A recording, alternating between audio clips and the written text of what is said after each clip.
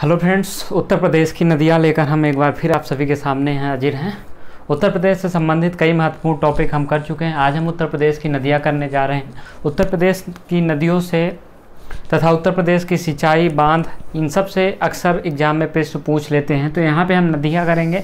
उसके बाद अगली वीडियो में हम उत्तर प्रदेश के बाँध, सिंचाई परियोजना, नहर आदि करेंगे। तो इस वीडियो में हम सिर्फ़ उत्तर प्रदेश की नदियाँ करेंगे। अब उत्तर प्रदेश में कई नदियाँ हैं। उत्तर प्रदेश में तीन प्रकार की नदियाँ पाई जाती हैं। कौन कौन सी नदियाँ पाई जाती हैं, ये चीज़ आपको जानना ज़रूरी है, क्योंकि एग्ज़ाम में पूछ लेता है कौन सी नदी आपकी हिमालयी नदी है, कौन सी नदी मैदानी है और कौन सी पठारी नदी है। तो चलिए हम देख लेते हैं उत्तर प्रदेश की नदियों से संबंधित सबसे पहले नदियों का विभाजन।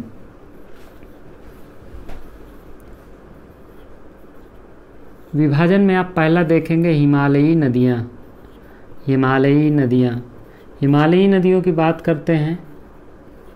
और दूसरी प्रकार की जो नदियाँ हैं यूपी में, वो मैदानी नदियाँ हैं। ये अक्सर एग्ज़ाम में पूछ लेता है कि उत्तर प्रदेश में नदियों का विभाजन कितने प्रकार से किया गया है? तो मैदानी नदियाँ।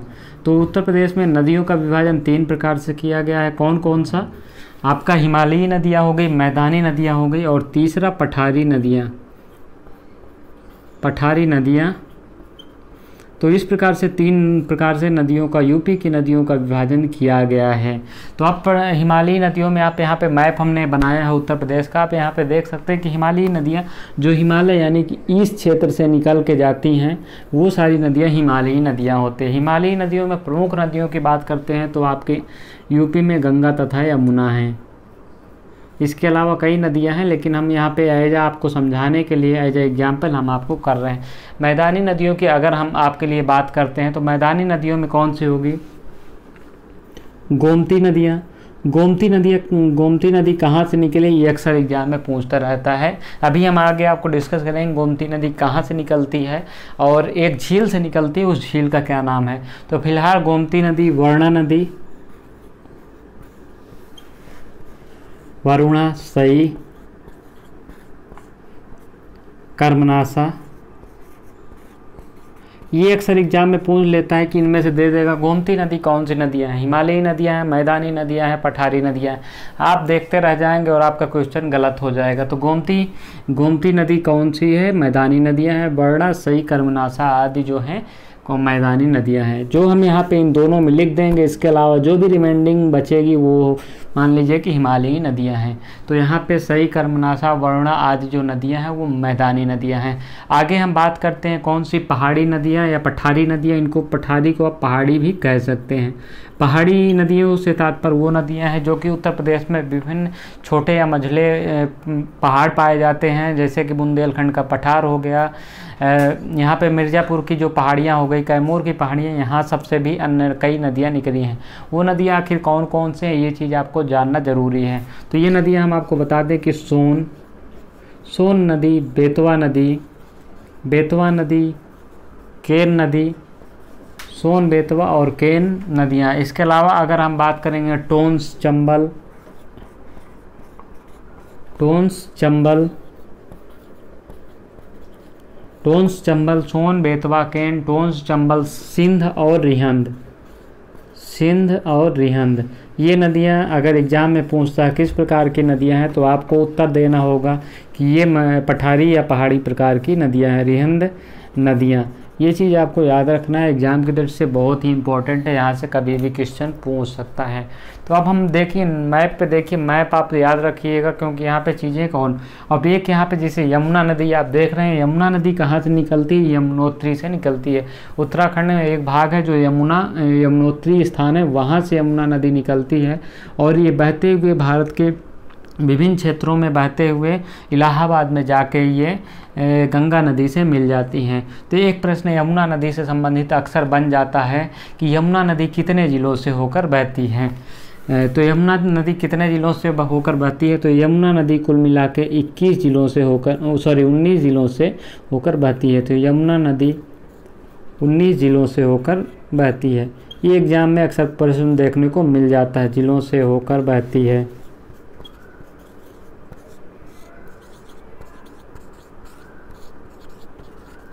पीसीएस 2017 का एक प्रश्न आप सभी के सामने हम यहाँ पे रख रहे हैं कि उत्तर प्रदेश की सबसे प्रदूषित नदी कौन है?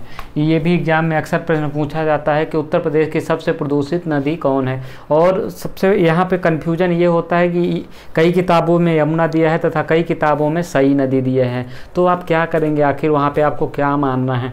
तो देखिए, जो हमारा अभी तक जो फैक्ट है, यमुना नदी ही सबसे प्रदूषित नदी मानी जाती है। तो आपको गलत नहीं करना है। यमुना नदी जो है सबसे प्रदूषित नदी है। यूपी की सबसे प्रदूषित नदी यमुना नदी सबसे ज़्यादा प्रदूषित है। ये आपको टिक मारना है। सबसे ज़्यादा प्रदूषित है। ये चीज़ एग्ज़ाम के लिए इम्पोर्टेंट है और यहाँ से पीसीएस में पूछा है तो ये आर ओ आर ओ या यूपी ट्रिपल एस सी के किसी भी एग्ज़ाम में आगे देखने को मिल जाएगा। क्योंकि यूपी ट्रिपल एस सी अब जो फॉलो कर रहा है अपना स्टैंडर्ड वो पीसीएस के आर पीसीएस तथा आर ओ आर ओ का कर रहा है। क्योंकि अब पीसीएस का स्टैंडर्ड और उठ गया है। तो सबसे ज़्यादा प्रदूषित नदी कौन सी है? यमुना नदी है। अब यहाँ पे आगे हम बात करेंगे यमुना नदी से संबंधित एक फैक्ट। तो आपको यमुना नदी कहाँ से निकलती है, ये चीज़ आपको याद रखना है। यमुना नदी यमुनोत्री से निकलती है। हम यहाँ पे यमुना की अभी बात कर रहे हैं तो यमुना नदी जो है है यमुनोत्री से निकलती है। यमुना नदी यमुनोत्री से निकलती है, ये चीज़ आपको ध्यान रखना है। यमुना नदी यमुनोत्री से निकलती है। अब एक प्रश्न और एग्ज़ाम में बनता है कि कौन सी नदी उत्तर प्रदेश और हरियाणा के बीच में बॉर्डर बनाती है? Which rivers makes border in UP and Haryana? तो यहाँ पे आपको देखना है कि यमुना नदी ही जो है हरियाणा तथा यूपी के मध्य बॉर्डर क्रिएट करती है। यमुना नदी यूपी तथा हरियाणा के मध्य तथा हरियाणा के मध्य, हरियाणा के मध्य सीमा बनाती है, के मध्य सीमा बनाती है। सीमा बनाती है। अब एक प्रश्न और बनता है कि यमुना नदी किस नदी में मिलकर विलीन हो जाती है? तो यमुना नदी जो मिलती है, किस नदी में मिलती है, ये आपको बताना ज़रूरी है। अब हम आपको बता दें कि यमुना नदी से संबंधित अगर हम बात करते हैं तो यमुना नदी आपकी जो है इलाहाबाद में समाहित हो जाती है गंगा नदी में। ये तो आपको हमने बता दिया है। इसके अलावा हम यमुना नदी से संबंधित अगर बात करें तो यमुना नदी की सफ़ाई के लिए उत्तर प्रदेश सरकार ने एक देश से समझौता किया है। तो यम, नीदरलैंड से, किस देश से? तो नीदरलैंड से यूपी सरकार ने यमुना की सफ़ाई के लिए समझौता किया है। तो नीदरलैंड से यमुना की सफ़ाई के लिए समझौता किया गया है। यमुना की सफ़ाई के लिए समझौता किया गया है। सफ़ाई के लिए समझौता किया है।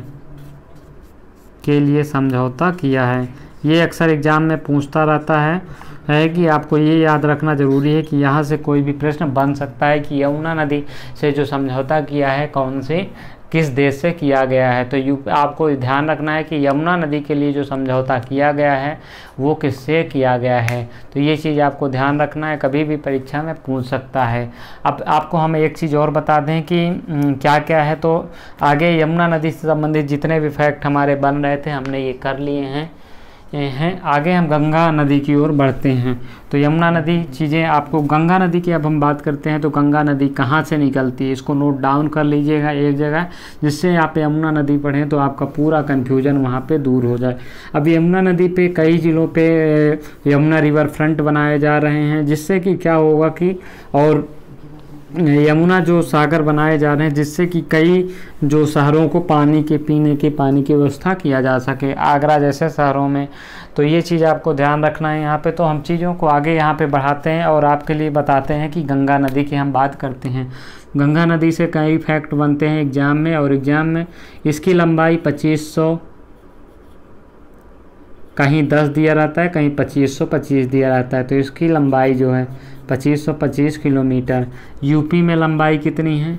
यूपी की सबसे बड़ी लंबी गंगा नदी है। यूपी में लंबाई जो बात करेंगे उसकी आप, यूपी में लंबाई कुल मिला के 900 किलोमीटर है।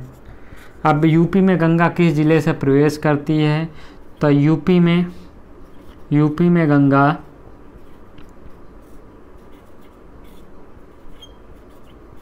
बिजनौर ज़िले से प्रवेश करती है। आपको याद रखना है ये अक्सर एग्ज़ाम में पूछ लेता है कि यूपी में गंगा किस ज़िले से प्रवेश करती है तो बिजनौर ज़िले से प्रवेश करती है। बिजनौर ज़िले से प्रवेश करती है। प्रवेश करती है। अब ये भी एग्ज़ाम में अक्सर पूछ लेता है कि अंतिम छोर गंगा का क्या है तो यूपी में अगर गंगा का अंतिम छोर की बात करें तो बलिया है, यानी कि गंगा बलिया से होते हुए बिहार को चली जाती है। तो गंगा का अंतिम छोर या अंतिम जिला की बात कर लें तो अंतिम जिला बलिया है। बलिया से होते हुए गंगा बिहार में प्रवेश कर जाती है। तो ये चीज़ आपको ध्यान रखना है क्योंकि यहाँ से एग्ज़ाम में अक्सर प्रश्न पूछना बनता है। अब गंगा की बात करें तो गंगा यूपी में 28 ज़िलों से होकर बहती है।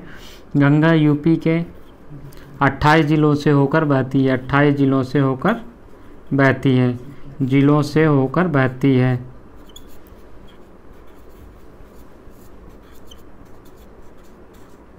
एक और प्रश्न यहाँ से बन जाता है कि गंगा को केंद्र सरकार ने कब राष्ट्रीय नदी का दर्जा दिया है?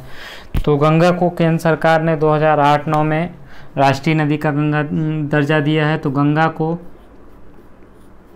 गंगा को 2008 2008-9 में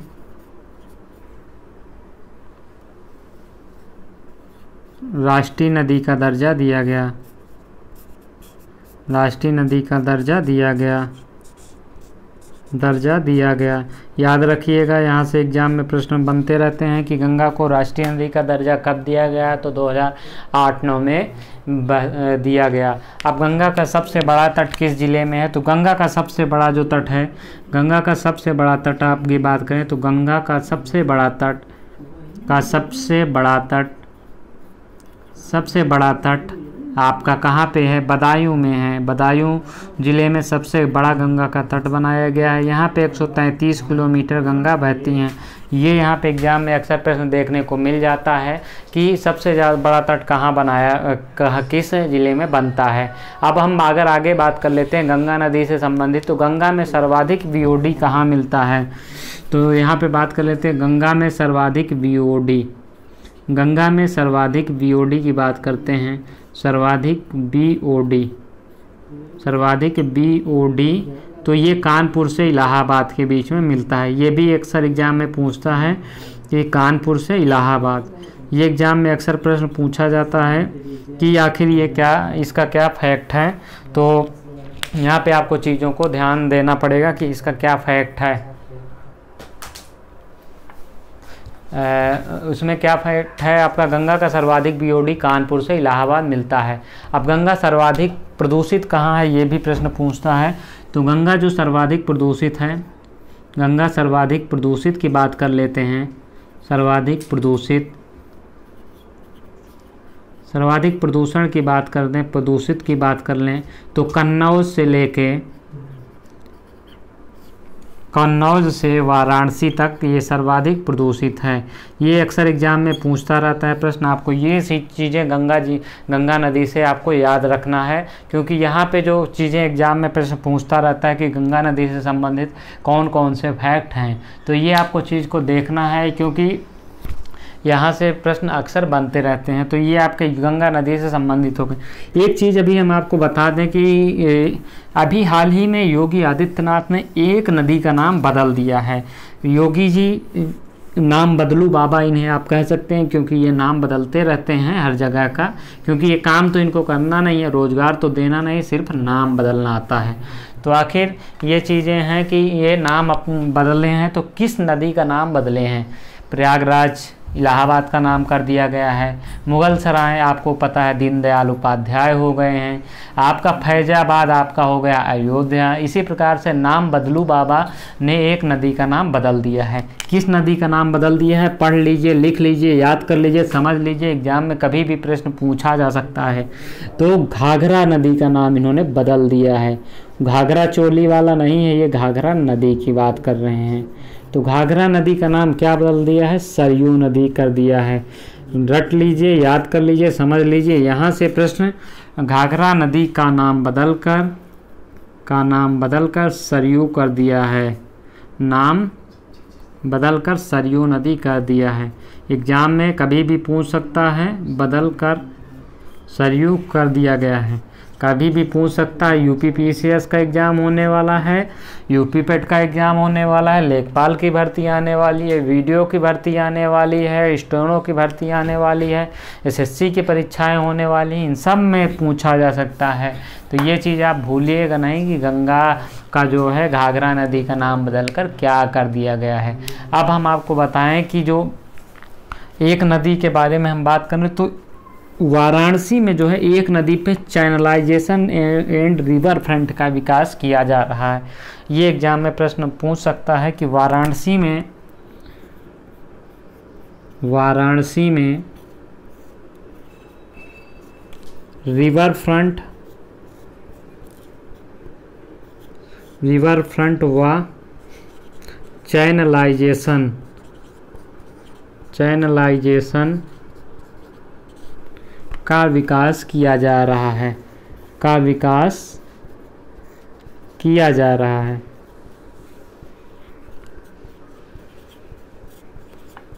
कौन सी नदी है वो? तो वाराणसी पे, वाराणसी में एक नदी पे चैनलाइजेशन का विकास किया जा रहा है। ये है वरुणा नदी पे। वरुणा नदी पर एक और फैक्ट यहाँ से हम आपको जब चैनलाइजेशन की बात कर दें तो हम एक और उसकी बात कर लेते हैं कि गंगो सॉरी आपकी गोमती नदी कहाँ है बहती है? लखनऊ में बहती है। तो गोमती नदी गोमती नदी पर रिवर फ्रंट बनाया जा रहा है। रिवर फ्रंट बनाया जा रहा है। रिवर फ्रंट बनाया जा रहा है। किस नदी की तर्ज पे बनाया जा रहा है। किस नदी की तर्ज पे तो लंदन की जो टेम, टेम्स नदी है, लंदन की टेम्स नदी, लंदन की टेम्स नदी जो है, उसके उसी के बेस पे, यानी कि उसी पैटर्न पे गोमती नदी पे क्या है चैनलाइजेशन का विकास किया जा रहा है। तो ये चीज़ आपको देख लेना है। अब हम आगे बात कर लेते हैं कि कुछ और फैक्ट आपके यहाँ से बन रहे हैं, नदियों से संबंधित। तो आपको ये जानना ज़रूरी है। तो हम बात कर लेते हैं कि जो रिहंद नदी है, यूपी के किस ज़िले से प्रवेश करती है? तो रिहंद नदी की बात करेंगे।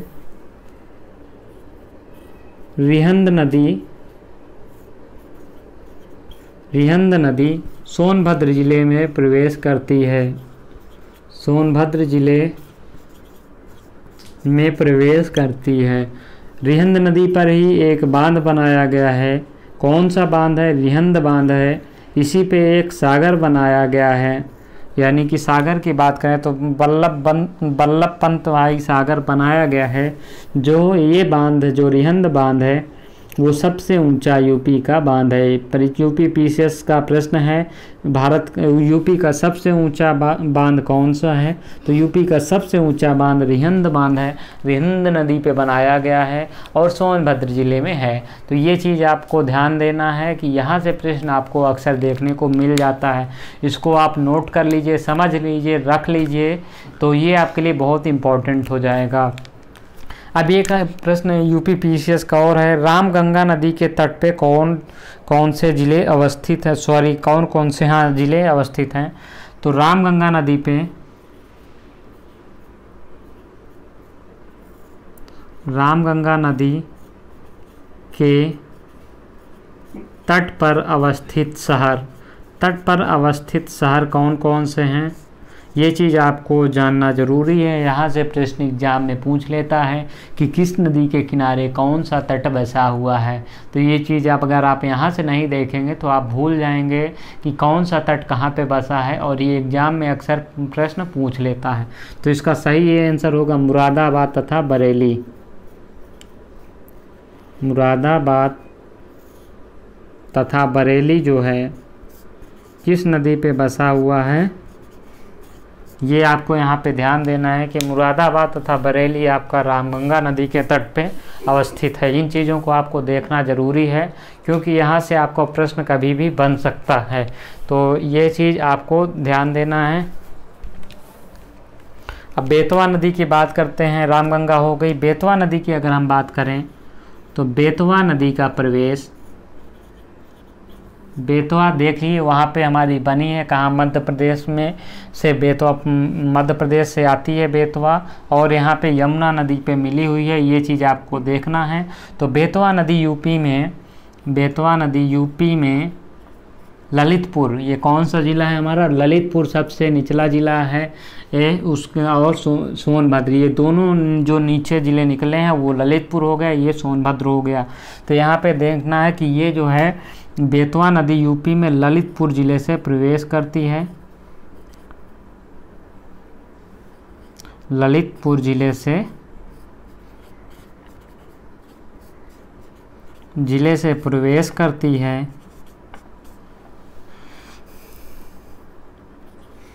प्रवेश करती है और हमीरपुर ज़िले में, हमीरपुर में यमुना में मिल जाती है।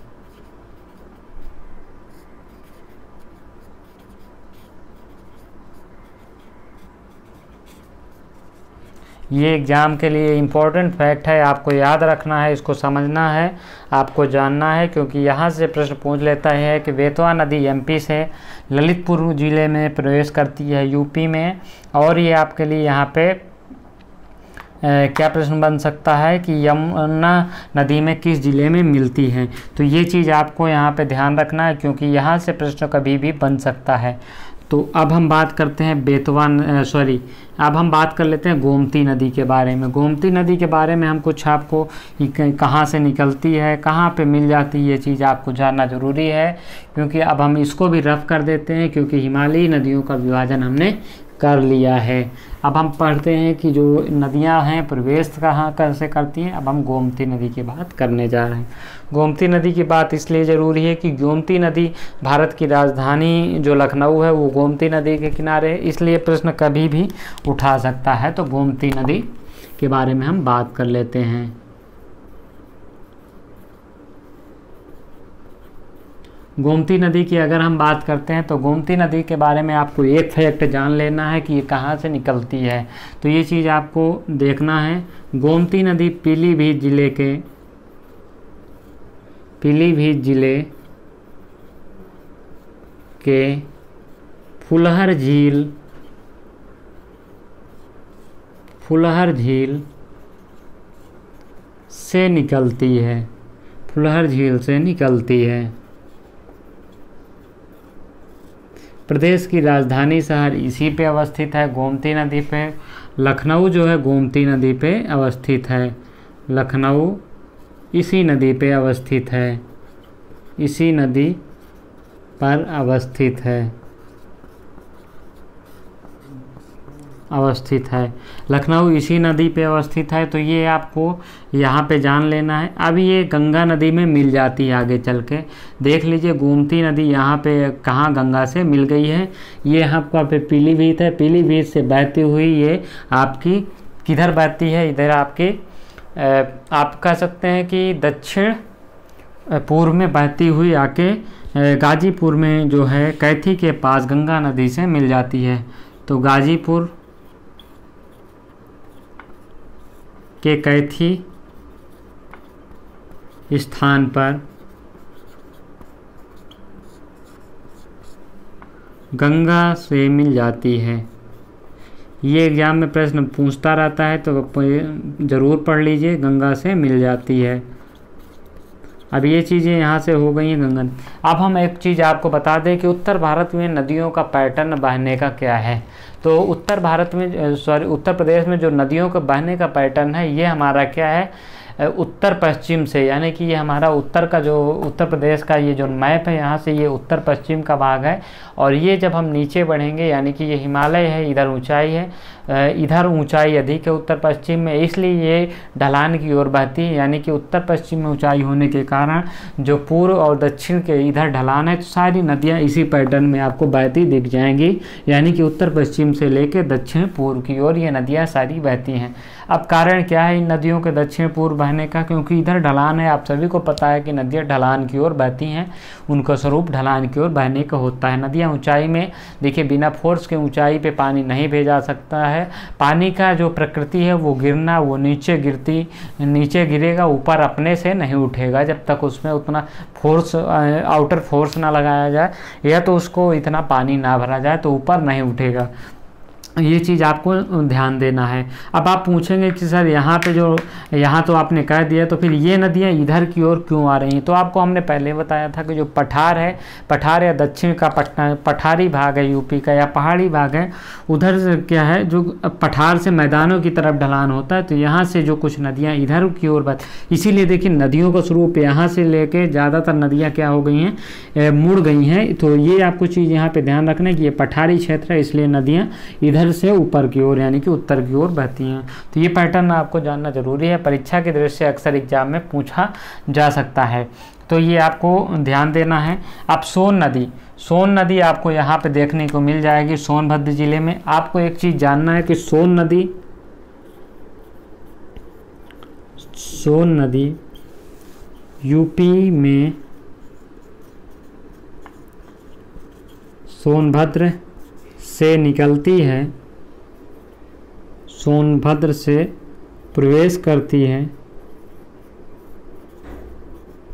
प्रवेश करती है और यहीं से निकास, यानी कि जो और निकास भी तो आपको ध्यान देना है कि जो सोन नदी है, वो यूपी के सहारनपुर सॉरी सोनभद्र ज़िले से प्रवेश करती है और यहीं से इसका क्या हो जाता है निकास हो जाता है। यानी कि ये आपका देखिए, यहाँ पे मध्य प्रवेश से प्रवेश मध्य प्रदेश से प्रवेश करती है और ये आगे सोनभद्र में प्रवेश की और ये आगे चल के आपकी बिहार की बॉर्डर से लगती हुई बिहार में चली जाती है। तो ये चीज़ आपको ध्यान रखना है तो इसमें प्रश्न पूछ सकता है कि अब हम बता दें कि आप एक और हम बात कर लेते हैं टोन्स नदी की। टोन्स नदी। टोन्स नदी का कुछ जो दृश्य है, ये यहाँ से है। टोन्स नदी की बात करते हैं, ये यहाँ से आती है, फिर यहाँ गंगा में मिल जाती है। सॉरी, यहाँ पे नहीं, ये गंगा यमुना का संगम, ये इलाहाबाद है तो ये तो टोन्स नदी को ही तमसा नदी कहते हैं। तमसा नदी इलाहाबाद यानी कि प्रयागराज इलाहाबाद में यूपी में प्रवेश करती है। प्रवेश करती है और गंगा जी में, गंगा में विलीन हो जाती है, इलाहाबाद ही ज़िले में विलीन हो जाती है। एग्ज़ाम में प्रश्न बन सकता है, कहीं भी क्या हो जाती है, विलीन हो जाती है। तो ये चीज़ आपको ध्यान देना है कि कौन कौन से ये आपकी चीज़ें हैं कौन कौन से।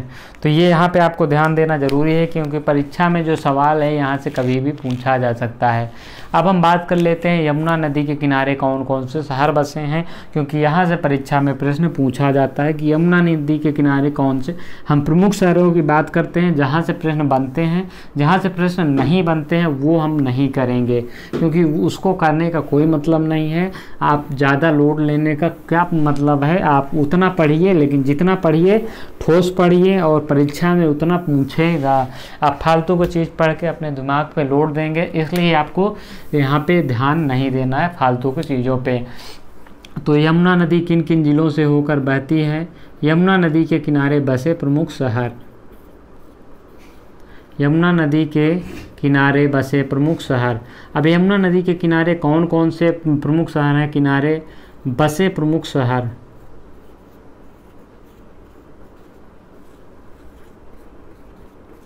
अब ये चीज़ आपको देखना है कि यमुना नदी के किनारे कौन कौन से शहर, बसे हैं। यहाँ से प्रश्न अक्सर एग्ज़ाम में पूछता है तो आपको देखना है।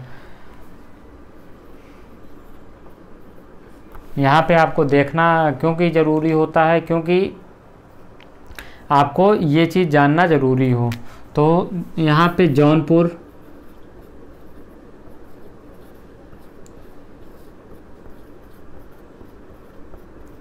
यमुना नदी की हम बात कर रहे हैं, यमुना नदी के किनारे कौन कौन से शहर बसे हैं? तो ये चीज़ आपको यहाँ पे जानना ज़रूरी है, क्योंकि यहाँ से प्रश्न पूछ लेता है। जौनपुर, आगरा, इटावा, प्रयागराज यानी कि इलाहाबाद, प्रयागराज प्रयागराज के बाद कौशाम्बी जौनपुर, आगरा, इटावा, प्रयागराज प्रयागराज की हमने बात कर ली है। उसके अलावा मथुरा, वृंदावन, ये प्रमुख ज़िले हैं जहाँ से आपका प्रश्न प्रश्न पूछ सकता है कि यमुना ज़िले जो यमुना नदी है, वो किन किन ज़िलों में बसी है? गोमती नदी की हमने बात कर ली कि इसके किनारे जो प्रमुख शहर है कौन सा है? लखनऊ है, लेकिन इसके जो किनारे है, वो आपका जौनपुर जौनपुर भी है और सुल्तानपुर भी है। तो गोमती नदी में आप नोट कर लीजिए, क्योंकि यहाँ से अक्सर पूछ लेता है कि जौनपुर किस नदी के किनारे बसा है या सुल्तानपुर किस नदी के किनारे बसा है? तो ये आपका सही आंसर क्या होगा? और क्या होगा? गोमती नदी होगा। अब हम बात कर लें अयोध्या किस नदी के किनारे बसा है। तो अयोध्या की बात कर लें तो अयोध्या, जिनका नाम अभी बदला गया है तो अयोध्या जो है, वो सरयू नदी के किनारे अवस्थित है। सरयू नदी के किनारे अवस्थित है। ये चीज़ देख लीजिए, क्योंकि यहाँ से जो प्रश्न पूछता है, वो आपको पूछा जाता है। तो आपको ध्यान देना है। रामगंगा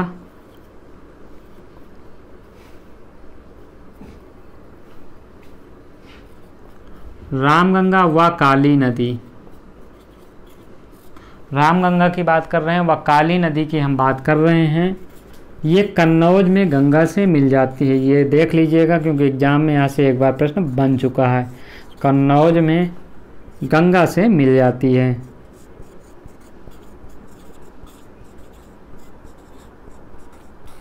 तो ये चीज़ आपको ध्यान रखना है, क्योंकि यहाँ से प्रश्न जो है अक्सर पूछता रहता है। एक और नदी है बूढ़ी गंगा। बूढ़ी गंगा बदायूं में गंगा से मिल जाती है।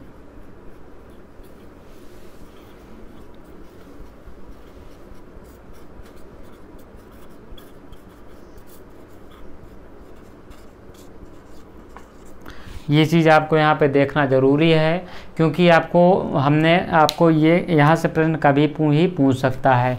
यमुना नदी का प्रवेश यूपी में किस ज़िले से होता है? तो यमुना नदी का प्रवेश जो उधर देख सकते हैं, सहारनपुर ज़िले से होता है। तो यमुना का प्रवेश, यमुना का प्रवेश यूपी में ये यमुना में करना था, लेकिन हम वहाँ पे दिमाग पे उतर गया था तो यहाँ हमने करा दी। यमुना का प्रवेश सहारनपुर ज़िले से होता है। याद कर लीजिएगा, एग्ज़ाम से पूछ सकता है। सहारनपुर, यमुना का प्रवेश सहारनपुर ज़िले से होता है। ज़िले से होता है। एग्ज़ाम में ये प्रश्न कई बार बन चुका है, इसलिए आपको देखना ज़रूरी है। अब हम बात कर लेते हैं गंगा के दाई, बाई ओर से मिलने वाली नदियाँ। यहाँ से प्रश्न अक्सर बनता है, इसको हम करा लेते हैं। गंगा नदी में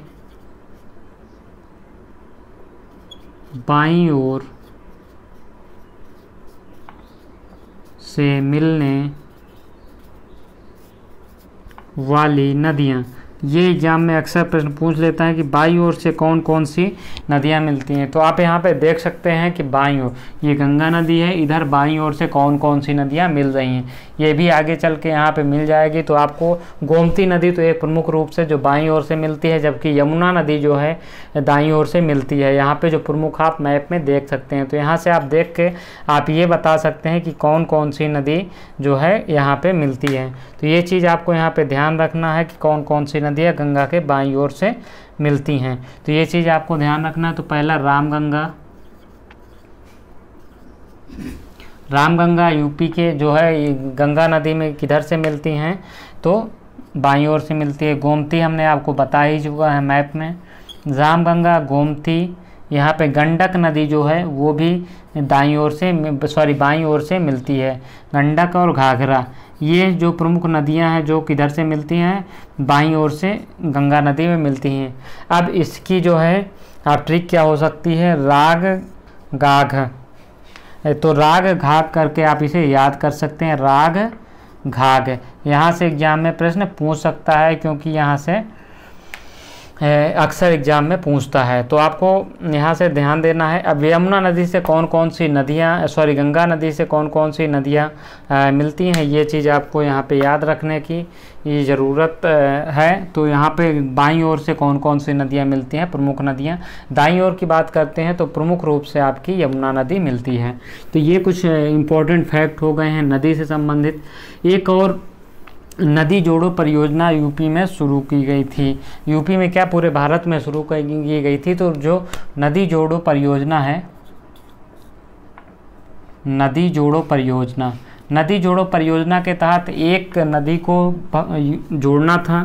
नदी जोड़ो परियोजना। परियोजना इसके तहत केन तथा बे, केन बेतवा का लिंक करना था।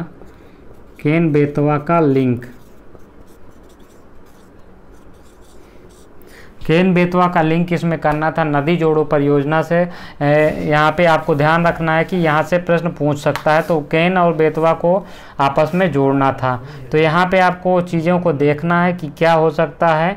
25 अगस्त 2005 को ये फैसला लिया गया था तो 25 अगस्त 2005 को ये फैसला लिया गया था कि इसको जोड़ना है, जिसमें 231 किलोमीटर की जो वो नहर थी वो झांसी के पास इसको मिलाना था। केन नदी को बेतवा में झांसी के पास 231 किलोमीटर की लंबी नहर निकालकर झांसी से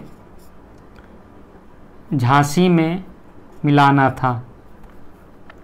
यहाँ से प्रश्न पूछ सकता है, यहाँ पे आपको देख लीजिए देख लीजिएगा। मिलाना था, इसका पर्पज़ यही था। तो ये चीज़ है, इससे यह यूपी एमपी के जो सहायक वो नदियाँ हो जाती हैं। ये चीज़ आपको ध्यान देने लायक है यहाँ पे। अब हम बात कर लेते हैं नदियों की। हमने बातें यहाँ से कुछ महत्वपूर्ण नदियाँ कर ली हैं। चंबल नदी की बात करते हैं तो ये आगरा से यूपी में प्रवेश करती है और औरैया के पास कहाँ? चंबल नदी चंबल नदी आगरा में हमने ऊपर चंबल नदी कराई है देख लीजिए, आगरा से प्रवेश करती है। आगरा से यूपी में प्रवेश करती है। यूपी में प्रवेश करती है। याद रखिएगा, चंबल से संबंधित यूपी में प्रवेश करती है, क्योंकि अक्सर एग्ज़ाम में पूछ लेता है और चंबल का चंबल का बीहड़ भी परीक्षा में पूछ लेता है। तो ये क्षेत्र कौन सा पड़ेगा? अगर आप यहाँ पे देखेंगे तो आपको मिल जाएगा। औरैया में यह औरैया में यह किससे मिल जाती है? यमुना से मिल जाती है। यमुना से मिल जाती है। तो उत्तर प्रदेश में अब अब हम उत्तर प्रदेश के ये सामान्य नदियाँ हो गई, जहाँ से आपका जो प्रश्न पूछता है, एक और प्रश्न पूछता है कि जो हिंडन नदी के किनारे कौन कौन से हैं? तो हिंडन हिंडन नदी के किनारे कौन कौन से शहर एग्ज़ाम में पूछ लेता है। हिंडन नदी के किनारे बसे शहर। तो हिंडन नदी में आपको किनारे कौन कौन से शहर बसे हैं? ये परीक्षाओं में अक्सर पूछा गया है, इसलिए हम आपको यहाँ पे बताना ज़रूरी होता है कि हिंडन नदी के किनारे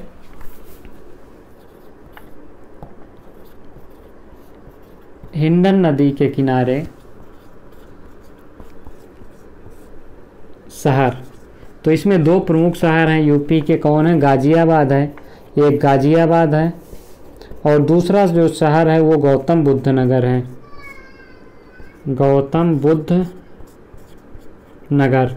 ग्रेटर नोएडा, जिसे जीबीटी भी आप कहते हैं। तो ये अक्सर एग्ज़ाम में पूछ लेता है, आप इसको करना ज़रूरी है, इसको नोट करना ज़रूरी है। अयोध्या में गोरखपुर जो योगी, यानी कि जो ढोंगी बाबा का शहर है, वो गोरखपुर है। गोरखपुर किस नदी के किनारे है? ढोंगी बाबा का शहर इसलिए पूछा जा सकता है। गोरखपुर जो है, किस नदी के किनारे? तो राप्ती नदी के किनारे गोरखपुर बसा है। ये चीज़ आपको याद रखना है, क्योंकि यहाँ से जब ढोंगी बाबा का शहर है, ढोंगी बाबा यूपी के मुख्यमंत्री हैं तो यहाँ से प्रश्न कभी भी पूछा जा सकता है। बांदा, केन नदी के किनारे है। चित्रकूट भी यहाँ से पूछ लेता है, चित्रकूट। चित्रकूट किस नदी के किनारे है? तो चित्रकूट मंदाकिनी। मंदाकिनी, जिसे कि पयस्विनी नाम से भी जाना जाता है पयस्विनी नदी के किनारे है। स्विनी नदी के किनारे। तो यहाँ पे चीज़ों को आपको देखना है। हमीरपुर जो है, हमीरपुर भी पूछ लेता है एग्ज़ाम में, आपको याद रखना है। हमीरपुर बेतवा नदी के किनारे है। बेतो एक और यहाँ से बच जाता है जो कि सोनभद्र हमने बता दिया है। अब प्रतापगढ़ जो है, वो सई नदी के किनारे है। तो ये आपका जो महत्वपूर्ण है, प्रतापगढ़। वो सई नदी के किनारे हैं। प्रतापगढ़ सई नदी के किनारे हैं। सई नदी के किनारे हैं। अब एक चीज़ हम यहाँ से आपको बता देते हैं कि ये नदियों से संबंधित जो हमारे प्रश्न हो गए, ये हो चुके हैं। अगली वीडियो में हम बाँध से संबंधित करेंगे कौन कौन से बाँध है कौन कौन सी नहरें हैं। इससे पहले कि हम आपको यहाँ पे एक चीज़ और बता देता हूँ कि यहाँ पे चीज़ें क्या करनी है आपको और क्या करनी है, क्या नहीं करनी है। ये चीज़ आपको ध्यान देना है कि जो उत्तर प्रदेश में जो जल स्तर है वो काफ़ी गिर रहा है। इसका प्रमुख कारण क्या है जल स्तर गिरने का? कि अधिक मात्रा में जो है भूमिगत जल का उसका प्रयोग करना है। तो भूमिगत जल जो है वो उनका जो मापन की जो विधि बनाई गई है, उसको छः प्रकार से जो भूमिगत जल को मापा जाता है। तो हाइड्रोग्राफी के तहत भूमि के जल को मापा जाता है। इसके लिए उत्तर प्रदेश में कई सेंटर स्थापित किए गए हैं। तो उत्तर प्रदेश में सेंटरों में काफ़ी ज़्यादा, इसमें जो देश में साल भर में करीब छः बार इसको मापा जाता जाता है। कब कब मापा जाता है? जनवरी में मापा जाता है। उसके बाद अप्रैल में, फिर जून में, फिर अगस्त में जुलाई, अगस्त में, उसके बाद अक्टूबर में और फिर दिसंबर में। तो इस प्रकार से इन छः महीनों में, साल के छः महीनों में जो है, क्या मापा जाता है? भूमिगत जल स्तर को मापा जाता है। तो ये रही आपके लिए इम्पोर्टेंट वीडियो नदियों से संबंधित। अगली वीडियो में हमें फिर बाँध से संबंधित, नहर से संबंधित लेकर फैक्ट हाजिर होंगे। तब तक के लिए धन्यवाद।